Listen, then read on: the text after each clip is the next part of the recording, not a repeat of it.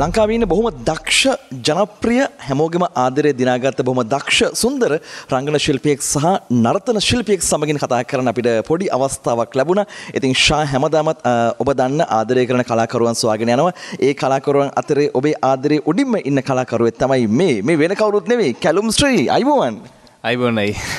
ඉතින් මේ කාලෙකින් අපිට මේ විදිහට අල්ලගන්න පුළුවන්කම ලැබුණේ මේ දවස්වල මෙගස්ටා වේදිකාවේ දැවන්ත චරිතය බවට පත් වෙලා තියෙනවා. අවසන් මහා තරගය තව වැඩි දවසක් නැහැ. තව පොඩි දවස් කිහිපයකින් අවසන් මහා තරගය අවසන් මහා තරගයේ උණුසුම එන්න එන්න වැඩි වෙන මොහොතක තමයි අපි මේ විදිහට සම්බන්ධ කරගන්නේ. දැන් මේ අවසන් මහා තරගයට වැඩි දවසක් නැහැ. මොකද හිතෙන්නේ? මේ දවස් ටිකේ ගොඩක් රිහසල්ස් කරනවා ඉතින් ඒව තමයි සතුටකුත් තියෙනවා ඉතින් අවසාන හතර දෙනාගෙන ඉන්නේ එහෙම තමයි ඉති මට දැනෙන අභියෝගය කවුරුන්ද මේ අවසන් මහා තරගේ දැවන්ත තරගයක් හැමෝගම හැමෝම තරගකාරී බව ඉහලින්ම ලබා දෙනවා. ඉතින් ඔයා වගේම අනිකුත් හතර තුන් දෙනත් තරගකාරී බව ඉහලින්ම ලබා දෙනවා. ඔයාට දැනෙන අභියෝගය දැනෙන තරගකාරී බව කොහොමද අපි කැමති දැනගන්නේ ගැන? ඇතරම අනිත් තුන් දෙනත් ගොඩක් දක්ෂයි. ඉතිං ඒගොල්ලෝ කරන දේවල් අනුව එකන්නේ ඇතරම මට අභියෝගයක්. ඒගොල්ලු මන් නෑ කියන්නේ මේ ඒ වුණට මං හැමදාම වෙන කෙනෙක් ඇත්තරම් බැලුවේ නෑ. මම කරන්න බැලුවේ මට අලුත් දෙයක් ලස්සන දෙයක් පෙන්වන්න ඉතිං අපි ඇත්තරම මාර සතුටින් අපි හතර දෙනා ෆයිනල් වුණට මේක තරගයක් වුණාට ඇත්තරම කතාබා කරලා කරන දේවල් ඔක්කුම එම තමයි මේ තරග යන්න ඉති මේ හැමදේමත් එක්ක වාට හිරු විශේෂයි. හිරු ටීව හරහා තමයි ඔබ රටරම ලෝකෙටම හඳුනාගන්නේ. ලෝ උතුම්ම චරිතයක් ඔබට රගපාන්න අවස්ථාව ලැබෙනවා. ඒ චරිතය ගැන කතා කරනවන අයිත් කියන්න වචනනෑ මේ මට දැනනදේ මට දැනනදේ මේ ආත්ම ගණනාවක භවයෙන් භවයෙන් පතාගෙන අපි චරිතයක් දෝ කියලා මට හිතෙනවා. මේ චරිතය කුමක්ද කියන දේ ගැන අමුතුවෙන් දන් අමුතුවෙන් ඔබට හඳුනා දෙන්න අවශ්‍ය නැහැ. මම කැමති ඒ ගැන පොඩ්ඩක් දැනගන්න ඩ්‍රාමය ගැන විස්තර ටික. ශ්‍රී සිද්ධාර්ථ ගෞතම. ඒකේ සිද්ධාර්ථ කුමාරගේ චරිතය තමයි මම කරේ. ඇත්තරම ඒ චරිතය ගත්තොත් ලෝකෙ උතුම්ම චරිතයනේ. ඒකට පණ පවන්න ඕන. ඉතිං මං හිතනවා ඒක හිතනට වඩා මාර වෙනස්ම දෙයක්. ඒකැන්නේ අපි ඇවිදින විදිේ ඉඳං වෙනස් වෙන්න ඕන චරිතයක් ඒක. එකන්නේ මිනිස්සුන්ගේ හිතේ ඇඳිල තියෙන රූපේ ඒ වගේම ඒ හැසිරීම හැම කෙනෙක් හැම කෙනෙක්ටම හිතන්න පුළුවන් මේ විදිර කියලා. අපි ඒක එවිදිර පෙන්න්න ඕනේ. ඇත්තරම ඒ චරිතය මුලින්ම හම්බෙනකොට ඇත්තරම් මට ඇතරම් බයක් දැනුණා.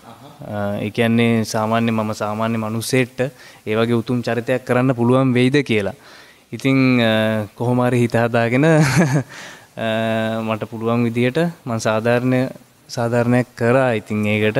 ඉතිං ඇත්තරම හොඳ ප්‍රතිචාර හම්බුණා මට ඒකෙන්. ඉතිං ඇත්තරම මගේ අතීතය හදන ගමනේදී මේක මාර ලොකු පිටුවක්. ඒවගේම ටර්නින් පොයින්ටක් මගේ ලයි් එකේ. පැහැදිලුම හරම සතුරි දැන් ඔබ නිර්මාංශකයිද? ඔව. පොඩිකාලිදම රයි් එකන හැම පොයටම සිල් ගන්නව සිල්ලං ගන්න මෙහෙමයි මම ස්කෝල යන කාලෙදී සිල් ගත්තා ඉතිං ඇතරම දැන් කාලෙකින් ඇතරම ගන්න උනේ නෑ දැන් මෙහෙම මම මේ එන්න ආවේ සාමාන්‍ය මේ වගේ උතුම් චරිතය රඟපානවා කියන්නේ ඒකට පේවෙන්න ඕන. ඒක හැමෝටම කරන්න බෑ ඒ චරිතය. දැන් මට කරන්න ගියොත් මට කරන්න බෑ ඒක. පැහැදිලිවම දන්නවා. ඇත්ත ඇති සැටියෙන් කතා කරන්න එපයි. දැන් ඔබ ඒ වෙනින් පේ වුණාද කොහොමද මේ විස්තර පොඩ්ඩක් අපි කතා කරමු මේක උතුම් චරිතයක්?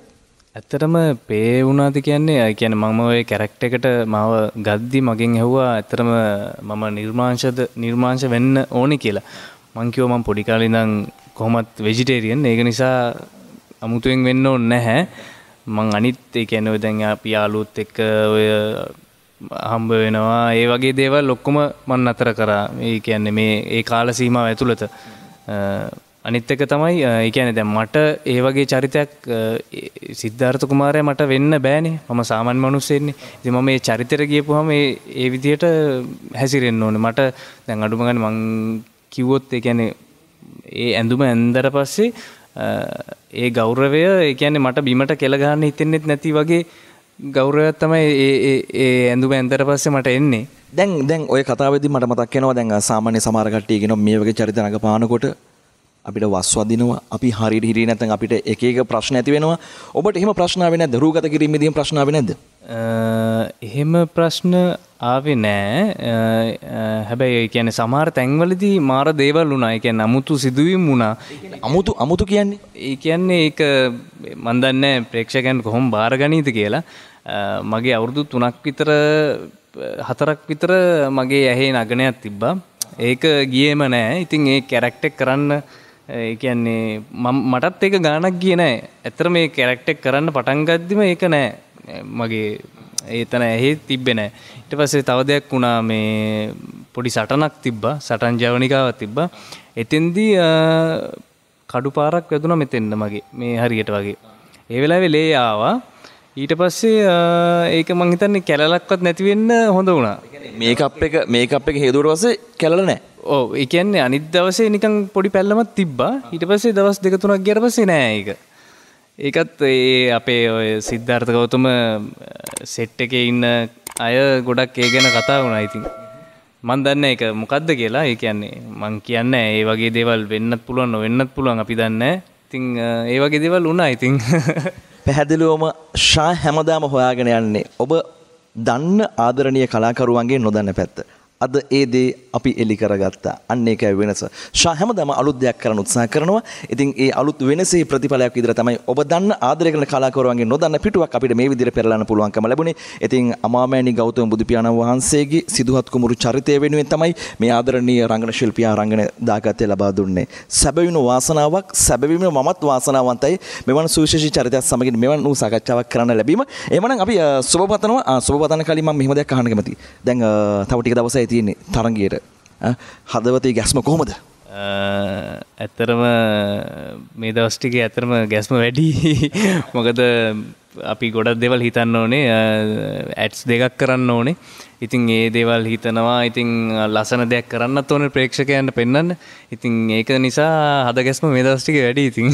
එමනම් අපි සුබපතනව කරන කියන හැමදේම ලස්සනට පිළිවට කරගන්න ශක්තිය දෛර වාසනාව ලැබේවා කියලා දෙවන්ත චරිතයක් උතුම් චරිතයක් උතුම් චරිතයකට තමන්ගේ දක්ෂතාවේ හරහා ඒ චරිතය වෙනුවේ සාධාරණ බවක් කරන්න උපරිම උත්සාහ දැරූ චරිතයක්. අපි ආදරේ ඔබත් ආදරේ. එමනම් අපි සුබපතනවා තැංකවයි මට ආරාධනා කරට. ජයවක්කොටම. තැංක හිරු ටව ශායෆය මුක්කොට